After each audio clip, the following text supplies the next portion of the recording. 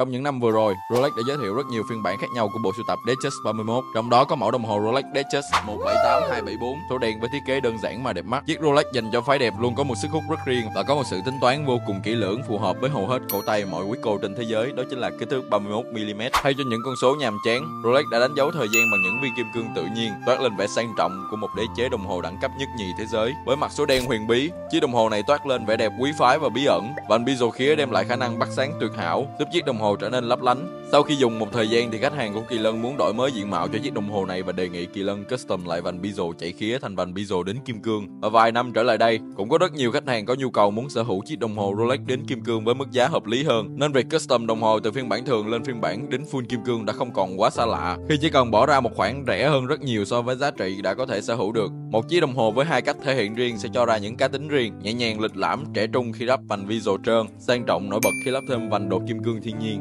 Ngoài ra, Kỳ Lân còn có dịch vụ chế tác theo yêu cầu của quý khách nhằm tạo ra những sản phẩm có tính cá nhân hóa, khẳng định cá tính riêng của mỗi người. Dưới đây là phiên bản Kỳ Lân đã custom chế tác đính kim cương thiên nhiên lên vòng bezel của chiếc đồng hồ Rolex theo yêu cầu của một vị khách. Nếu quý khách cần thêm thông tin hoặc muốn khám phá các tùy chọn custom vành bezel cho đồng hồ Rolex, đừng ngần ngại liên hệ với Kỳ Lân Luxury. Chúng tôi luôn sẵn sàng giúp quý khách tạo nên một tác phẩm nghệ thuật độc đáo của riêng mình. Kỳ lân Luxury sang trọng, đẳng cấp,